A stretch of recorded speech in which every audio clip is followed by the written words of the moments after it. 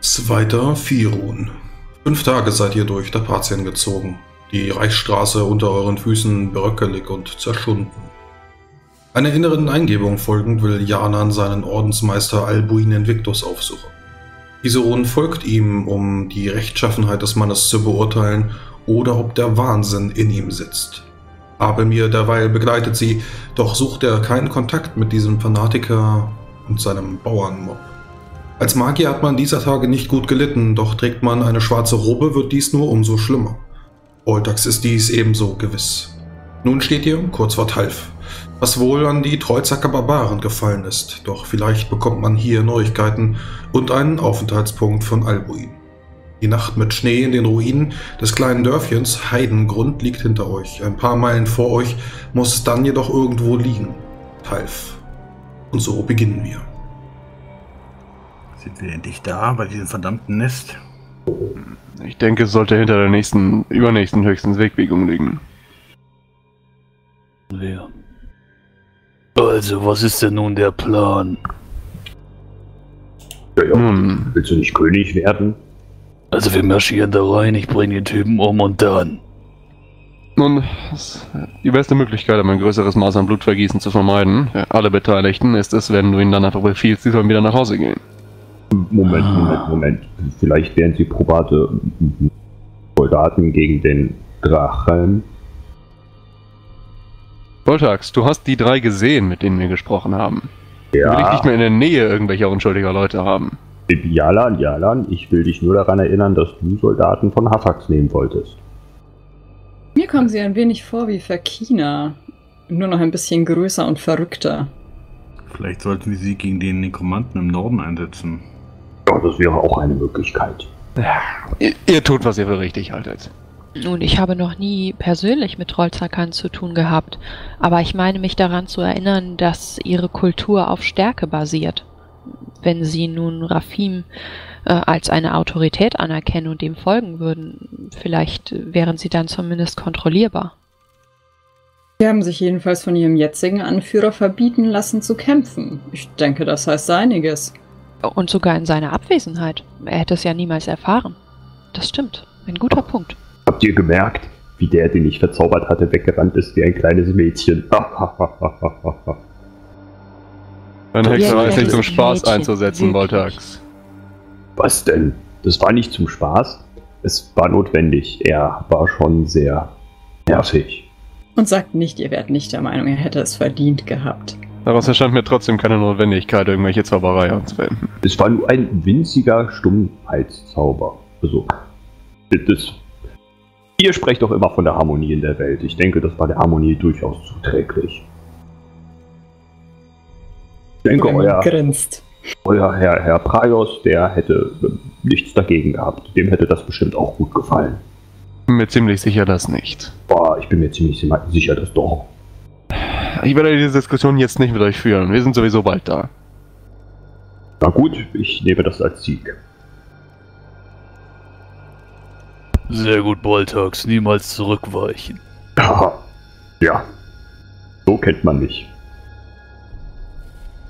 Wenn ihr dann die, der Wegbiegung folgend über die ein oder anderen Hügelkuppen entlang geht, könnt ihr dann tatsächlich vor euch sehen an der Reichsstraße Talf.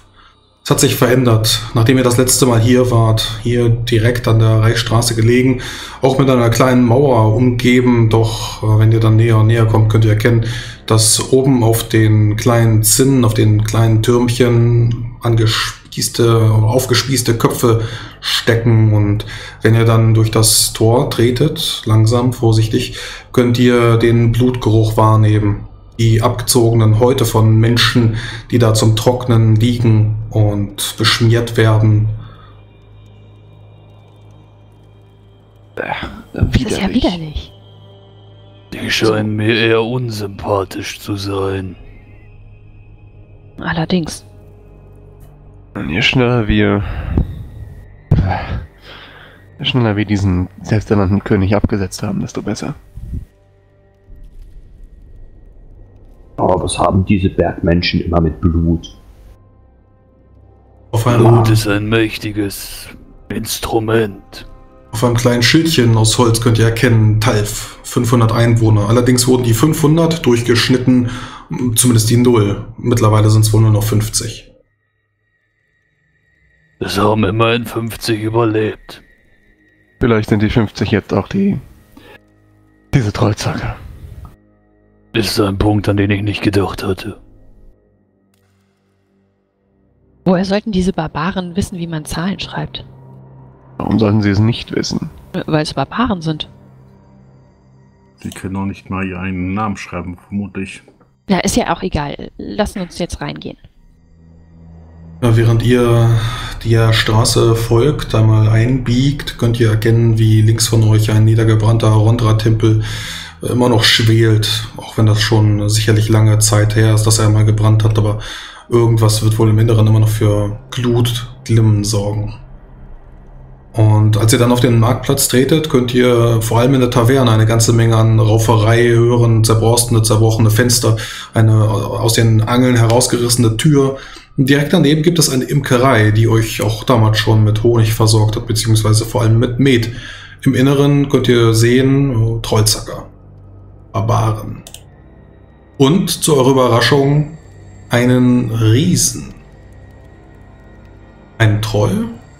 Es ist Graulheim. Große, vier Meter riesige Gestalt, die dort eben noch versteinert saß. Es ist gar kein Stein. Er erhebt sich und ihr kennt ihn tatsächlich wieder. Nun, das wird immer besser. Oh, Graulheim! Hallo, Graulheim! Hallo! Ihr kennt diesen Felsbrocken? Da ist ein Troll. Äh, nicht nur Oh. irgendein Troll. Er ist, er ist Graulheim. Er ist ein Minister. Die Honigbonbons. Äh, natürlich, natürlich haben wir Honigbonbons. Extra für dich aus Wahrung, nicht wahr? Ja, aus. Beilung, aber egal. Äh, Mhm. Weilung, stimmt. Er deutet mit seiner äh, Hand auf die Imkerei. Die ist alle.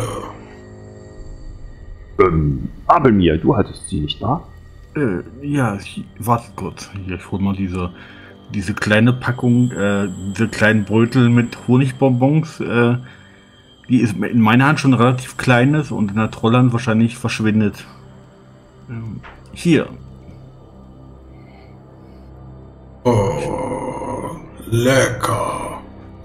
Und während ihr ihm die Bonbons reicht in seinen riesigen steinernen Pranken, könnt ihr sehen, wie sich äh, mehrere Leute jetzt aus der Taverne heraus begnügen. Äh, riesige Kreaturen, allesamt mindestens zwei Meter groß, müssen die Köpfe einziehen und äh, einer nach dem anderen schreitet heraus mit riesigen Äxten, äh, die sie euch zunicken und äh, einer deutet dann wohl noch zu ihrem Anführer, der da gerade nach draußen kommt. Äh, es ist tatsächlich wohl einer der Räuber, die ihr schon auf der Straße gesehen hattet. Ah, das sind sie. Die wollten mit uns kämpfen, mit euch kämpfen. Fuck.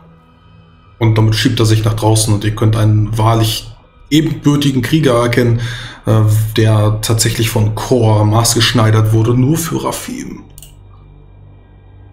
Sagt von Kekrach, König von Talf. Der ist aber groß gewachsen. Das musst du gerade sagen. Ich weiß nicht, was ihr meint. Geh und sieh zu, dass du ihn loswirst, damit wir endlich weg können. Tragt breitet seiner riesigen, monströsen Arme aus äh, und äh, nickt euch dann zu, während er mit langsamen, äh, ja, respektvollen Schritten auf euch zukommt. Willkommen in Talf, ich bin hier der König, ihr könnt mich Trag nennen. Was können wir für euch tun? Wir haben gehört, ihr wollt euch mit uns messen. Da habt ihr recht. Bekommen wir denn keine. Ja, wie heißt das denn? Bringt doch mal eure Männer her, damit die auch sehen, was passiert.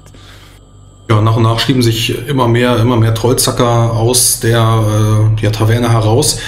Ihr könnt aber wohl erkennen, ähm, wie sie allesamt an der Taverne stehen bleiben und nicht nach draußen auf den Platz treten.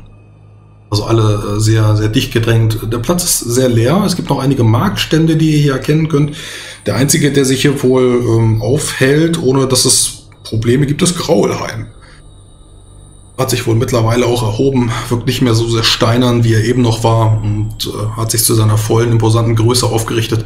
Sein zottliges Haar weht so ein bisschen im Wind, ist auch schon ein bisschen verkrustet von Eis und Schnee, was dann um euch herum äh, noch äh, ja, durch, die, durch die Straßen weht. Also, ihr seid der König von Talf und ihr habt den Tempel da angezündet. Nein. Eure Götzen haben wir nicht angezündet. Wir haben Talf verlassen vorgefunden. Aber jetzt gehört Ah. es mir. Ich befürchte, so funktioniert das nicht. Es ist leer. Wir kamen von den Bergen und haben uns genommen, was unser ist. Rufe du deine Götter an, denn ich werde meine anrufen. Ashtula ist immer bei mir. Ihm beginnt eine Liturgie zu wirken. Ihm würde sich hinstellen, vor die versammelte Mannschaft sein Dolch aus der Tasche ziehen. Hier und heute hast du mir einen Krieger gebracht, der sich mit mir messen soll. Mein Allvater, mein Herr, Chor, hier vor dem niedergebrannten Tempel deiner Mutter werde ich ihm beibringen, was es bedeutet, vor uns zu stehen, vor uns zu knien, vor uns zu sterben. Und Rafim schneidet sich in die Hand. Ich wirke mal meine Liturgie. Tag von Kekrach nickt dir zu und äh, ihm werden zwei riesige Barbaren Streitäxte gebracht. Oh. Einer der Trollzacker äh, wird ihm dann einen weiteren Ritualdolch reichen und auch äh, Trak beginnt jetzt den Ritualdolch in seine Brust zu stoßen. Oh ja. Für Blut. Wollen wir, Blut uns, für Chor. wollen wir uns weiter schneiden und das machen wie die Trollzacker. Wie die Kurga. Oder kämpfen wir nach euren Götterstaatenarten? Wir kämpfen, dass es Chor gefallen möge, also komm her. Äh. Er bleibt stehen, wo er ist. Und betritt den Platz nicht. Kannst mal auf Menschenkunde, auf Menschenkenntnis würfeln. Ist ein bisschen erschwert, weil es eine fremde Kultur ist. Aber du kannst versuchen, ihn einzuschätzen. Acht Punkte ist jetzt nicht die Welt. Ja. Mehr als ich überhaupt habe. Ähm, dir fällt auch auf, dass die anderen Kurga ähm, den Platz ebenso nicht betreten. Sie scheinen wohl eine Platzangst zu haben. Er wartet, Was ist? er wartet darauf, dass du zu ihm ihr kommst. Fürchtet ihr euch vor mir? So stark scheinen eure Götter nicht zu sein. Wenn ihr nicht mal auf mich zutreten könnt. Du willst Teil von mir haben, also komm du zu mir. Ja, ich würde mal so zwei, drei Schritte in seine Richtung gehen. Ah, was ist? Das ist stehen. alles. Ja, ich würde weiter auf ihn zumarschieren. Ja, er bleibt wie gesagt äh, direkt davor stehen. Hinter ihm haben sich äh, direkt in der Taverne versammelt äh, allesamt die Trollzacker. Mittlerweile stehen sie in einem großen U um äh, ihn herum, so dass du dann in die Mitte dieses Us herantreten kannst und äh, er greift sich äh, immer noch mit dem Dolch in der Brust, steckend seine beiden barbaren Streitäxte und wirbelt sie etwas herum, als würden sie nichts wiegen. Er ist stärker als du. Noch. Ja, Würfel mal Initiative. das habe ich befürchtet. 21, das ist ja, Ja. nicht so schlecht. Er fängt mit einer Basisinitiative von 20 an. Schauen wir mal nach, was er hat. Ah, ja, dann hat er schon gewonnen. 24. Gut, äh, er kämpft beidhändig. Äh, BHK 2, dementsprechend hat er auch drei, drei Angriffe. Aber er hat einen Waffenmeister, der noch was anderes tut. Das habe ich befürchtet. Äh, ja, wie gesagt, er wirbelt mit seinen Echsen herum und wartet auf den ersten Angriff von dir. Also, äh, wenn ich da Stehst jetzt du davor stehe. auf, äh, ja, auf was willst du ran? Wahrscheinlich S, ne? Ja, ich bin jetzt ja groß, ne? Das nutzen wir natürlich aus. Er ist genauso groß wie du. Ja, dann ist ja wurscht, da können wir auf S kämpfen. Das macht ja keinen Unterschied. Gut. Ja, ich äh, versuche erstmal in guter alter Tradition ihn umzureißen. Ja, stopp, er zieht vor. Das habe ich befürchtet. Ja, äh, er macht eine Finte 5. Das äh, klappt. ja, es klappt gerade so. Pariert. Mhm. Dann äh, muss ich mal eben mein Umreißen nochmal anschauen. Gib mir eine Sekunde. Ist eine Barbarenstrat heißt nicht jetzt Zweihandhiebwaffe? Waffenmeister. Ah, clever. Der Mann ist riesig, Erlan. Das heißt nichts. Es geht darum, dass du mit zwei Antiwaffen nicht finden darfst. Eine Attacke plus 4. Ja, Ja, dann kann er das ganz normal parieren. plus 8. Plus 8. Oh Junge. Hat er geschafft. Sehr gut. Und dann kommt sein dritter Angriff. Ähm, ich sag nochmal eine Finte 2 an. Und auch das ist geschafft. Kein Problem. Gut, das war die erste Kampfrunde. Hm, Ihr umspielt euch so ein bisschen. Ähm, mittlerweile hat er sich wohl auch von seinem äh, von seiner Taverne gelöst. Jetzt, wo die anderen dieses U so ein bisschen geschlossen haben und er den großen Platz nicht mehr sieht, hat er wohl weniger Probleme. Ähm, einfach weil er den Platz nicht mehr wahrnimmt und sich komplett auf dich konzentriert. Und kreist dich ein bisschen. Gut. Was wollen die anderen dabei tun? Ich gucke mir das erstmal an, eventuell greife ich ein, aber noch sieht es nicht so aus, als würde Rafim in Bedrängnis geraten. Ich schau mich, Ich bin ein bisschen traurig, dass ich keine aufgeploppten Maiskörner habe. ich schau mich ein wenig nervös in der Menge um, ob die irgendwas tun. Und bereite mich darauf vor, Boltax am Bart zu packen, wenn er meint, er müsste eingreifen. Ihr könnt auch einmal auf äh, ja, Magiekunde würfeln. Je. Ist wieder ein bisschen erschwert, weil ihr die Kultur nicht habt, aber vielleicht wird der ein oder andere jemanden erkennen. Oh, das, das geht sogar. Also mit ein bisschen Erschwernis habe ich es trotzdem geschafft. Ja, reicht nicht. Abelmir, du erkennst tatsächlich reichen nicht. einen Schamanen, der sich wohl ebenso aus der Taverne rausgeschoben hat und euch jetzt mit einer ähm, blutigen Knochenkeule ähm, an seiner Seite anstarrt. Also auch die haben einen Schaman. Ich tippe mal Voltax und Isarun auf die Schulter und deute mal so mit dem Nicken auf den Schamanen. Wir werden beobachtet. Äh, Vielleicht sollten wir mal zu ihm hingehen und ihm ein bisschen verständlich machen, dass man hier nicht eingreift. Och, tut man das nicht? Weil, ja, ja, ich meine, natürlich. Genau das sollten wir tun. Mhm, mhm. Er konzentriert sich vor allem auf, äh, vor allem auf Boltax, ähm, weil Boltax als Geode ähm, ja, für, ihn, für ihn besser zu erkennen ist. Ähm, die, mit den Magiern kann er dadurch auch ein bisschen was anfangen, aber er hat äh, kein Auge auf den Kampf, sondern vor allem auf euch, auf die Magier. Nächste Kampfrunde. Er greift, der erwartet erstmal, was Rafim tut will. Ja, ich versuche ihn wieder umzureißen. Ja, Jetzt stopp. Er zieht vor, Finte 5. Ja, Irgendwann wird's klappen. Natürlich. So gut ist mein Paradewert nicht. Jetzt. Schicksalspunkt?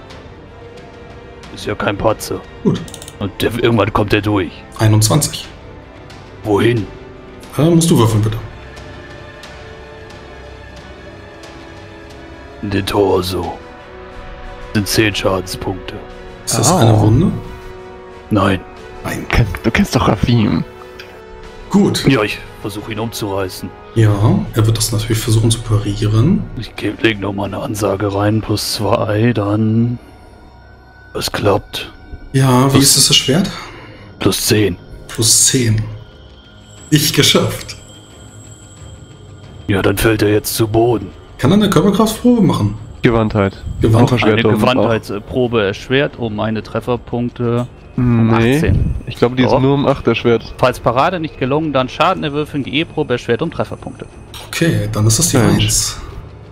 Nicht geschafft. Ja, Fällt damit, hin, verliert äh, erstmal zwei Punkte Inni. ja, Ne, 2 2 wie 6. 2 wie 6, ich Sechs. wollte gerade sagen, das wäre sonst zu wenig. Das ist er unter dir, glaube ich. 4, nee, dann ist er genau auf dir.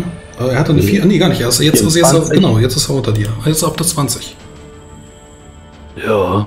Äh, wolltest du weiter draufhauen oder möchtest Jetzt muss er erstmal. Was will er denn tun? Ich habe ihn jetzt ja Inni-mäßig über ihm. Er muss Das ist ja sagen. richtig, dann möchte er aufstehen.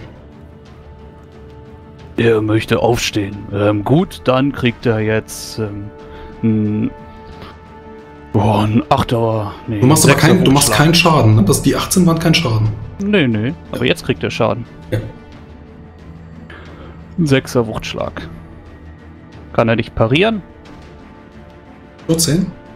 Ja, kann er nicht parieren. Ja, gut. Dann bekommt er. 21 in den Schwertarm. Ja. 21 minus 3 sind.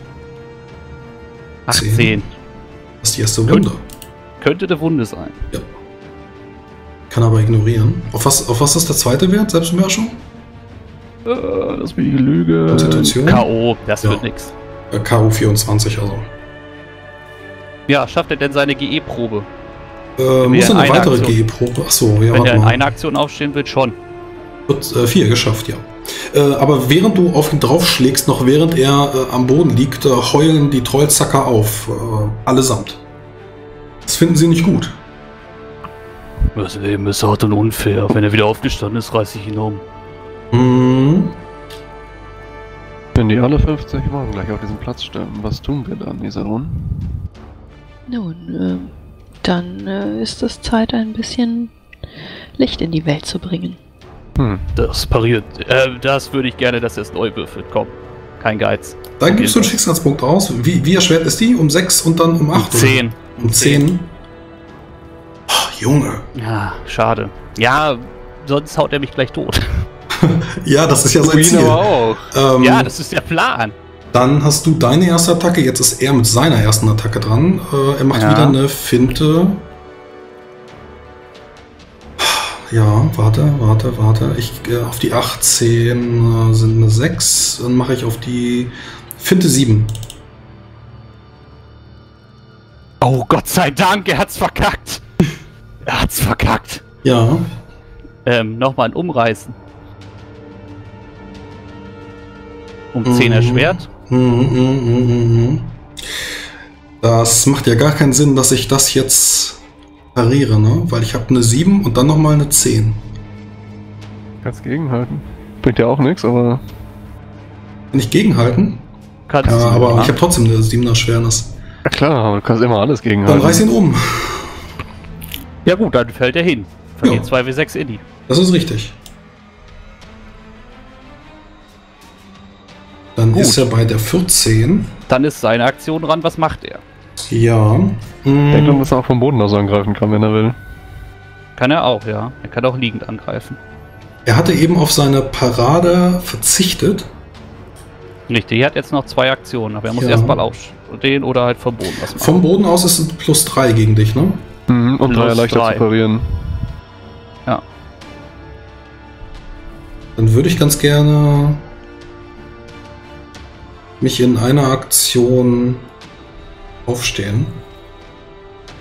Möchtest du da vorher was tun? Nee, er ist jetzt vor mir dran mit dieser Oh Aktion. Mann. Und er braucht zwei Aktionen. Wunderbar, dann habe ich jetzt einmal ihn diese Eine, zweimal. eine Aktion hast du noch. Ja, das ist dann ja die umgewandelte. Da kriegt er dann nochmal einen. Ach komm, haben wir einen Dreier Wuchtschlag draus. Ist eine 7er Erschwernis. Gott sei Dank. Ja.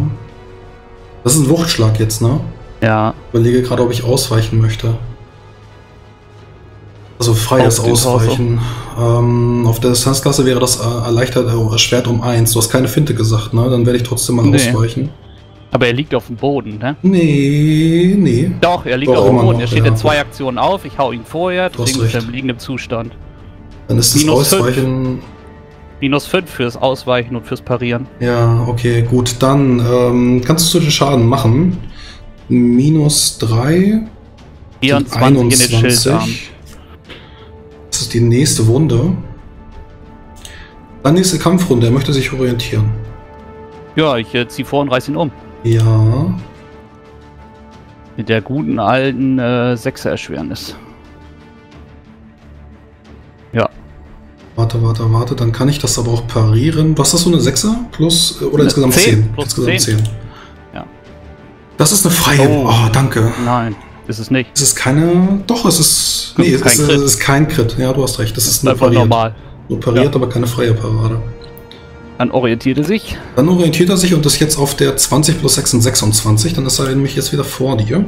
Nee, ist er nicht, weil er acht Runden nach mir hatte. Der hat gerade seine. Oder? Warte Nein, mal. er seine, geht zweite, nach seine zweite Aktion. Er meint, dass generell seine Inni vor dir ist, nicht, dass so, er jetzt gerade die- vor dir Ja, handelt. ja, generell Genau. ja. Aber erstmal darf ich wieder handeln. Äh, nee. Hm, Er hat pariert, dann hat er seine Inni-Phase gehabt. Er ist, wäre jetzt in seiner dritten Ini-Phase. Er, hat, er, hat jetzt, er ist jetzt auf der 26 und hat noch eine Aktion und du bist Ja, auf der ist in 20 seiner- und hast noch zwei Aktionen. Aber er ist in seiner dritten Phase und seine dritte Phase passiert Ja. 16 Punkte nach ihm und Rafins dritte Phase passiert 8 Punkte nach ihm. Sobald er also nicht, solange er also nicht 9 Punkte vor ihm ist, ist Rafim erst dran. Richtig. Es wäre mit einem Mini-Brett leichter abzuschätzen. Der Mann ist schon in seiner. Der Mann hat ja nur noch eine Phase. Das heißt, ich bin, er müsste mehr als acht Punkte Unterschied haben und die hat er nicht. Genau. Er, er hat, er ist einmal pariert, einmal. Nee, warte, es sind Ja, vier. Stopp, im BHK sind es vier. Aber er, er ist pariert und hat sich danach orientiert. Ja, er muss nur vier Punkte vor dir sein. Ach so, ja, gut, Ja. dann ist er noch einmal dran. Genau. Ähm, und er wartet erstmal wieder ab, was du tust. Okay, ja, weil er wird du musst umgerissen. jetzt wieder vorher. Ja, war mir klar. umgerissen. Gegenhalten. Do it. Oh, 18. Gott sei Dank. Gott sei Dank. Ja, aber dann macht Gegenhalten noch jetzt tatsächlich Sinn, ne? Gegenhalt musst du vorher ansagen. Dann pariere ich ganz normal. Das ist wieder eine plus 10, ne? Ja. Kommt davon, wenn du nicht auf den Meister hörst. Scheiße. Dann fällt er aufs Maul. Ja. 2w6 Inni, mal wieder. Dann ist er wieder auf der 20. Ja, dann habe ich meine dritte Aktion. Er kann nicht parieren, er kriegt einen Zweier-Wuchtschlag ins Gesicht. So.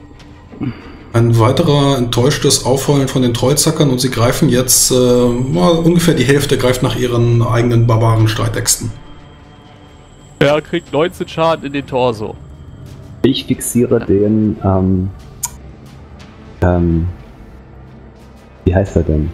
Schamane. Kaman. Schamanen. Nach Naja, ich möchte den. Mach du erst. Ja, nach dem Motto, ähm, halt die mal lieber im Zaum. Sage aber nichts. Raulheim schüttelt mit dem Kopf. Ihr müsst ehrenvoll kämpfen. Rafim. Ja, was macht er immer? Ich ignoriere Grauenheim. Ich kämpfe gerade. Gut. Ja, wie gesagt, du hast äh, das schartige, äh, schleifende äh, Geraschel von ekelhaften Metallwaffen gehört, die jetzt allesamt aus dem Gürtel gezogen werden. Barbaren Streitäxte, die Hälfte ist jetzt bewaffnet von den 50. Wer hätte gedacht, dass Barbaren einen Sinn von Rundreifähigkeit haben? Aber erstmal kriegt er, glaube ich, Zusatzschaden, weil er hat gerade 19 in die Brust gekriegt. Das ist richtig, 1 W6 Zusatzschaden, so nochmal 4. So, er ist inni-mäßig vor mir. Was tut er denn? Ja, er ist wieder auf der 20. Ähm, Achso, er ist wieder auf der 20. Dann bin ich ja vor ihm. äh, du Er kannst, du kannst vorziehen. Ich überlege gerade, weil ich ansagen muss und du kannst darauf reagieren. Ja, richtig. Was tut er denn? Ähm, er möchte erstmal angreifen, behält sich aber zwei Paraden offen. Er kann ja, er kann ja weiter umwandeln. Also er, er, er greift. Also auch vom Boden aus. äh, er liegt auf dem ach, Er Boden. ist ja noch gar nicht aufgestanden, ne? Nein, er ist noch nicht aufgestanden. Ach, dann greift er vom Boden aus an. Da hat er eine plus 3 und dann macht er nochmal eine Finte draus. Äh, Da ziehe ich vor. ja. So. Äh, dann kriegt er jetzt eine Finte plus 9 rein. Das ist eine 6er Erschwernis, weil er ist auf dem Boden. Dementsprechend kriege ich eine 3er Erleichterung, ihn anzugreifen. Oh, ich bin so glücklich, dass ich so gammelige Ansagen mache. Okay, No- das Neuner heißt, Finte. Neuner Finte. Ähm, ja, macht da eine ganz normale Parade. Das ist gelungen. Kriegt er denn was dafür, dass er am Boden liegt bei der Erschwernis beim Parieren? Bekommt ein. Das hattest du ja schon reingerechnet. Ja, ja stimmt, stimmt. Ja, Das dann darf du er schon mich angreifen. Dann darf Genau. er mich angreifen. Dann kommt jetzt ähm, tatsächlich die Finte. Er hat eine plus 3, dann macht er eine 7. 7er Finte. Das schafft er. Diese Runde, Fünfte. gef diese Runde gefällt das nicht. Wenn er so weitermacht, dann hat er wirklich gleich den ganzen Platz am Hals. Ja, trifft er. Oh ja, Ah. danke. Ein bisschen Luft. 20. Trefferzone musst du selbst. Den Torso.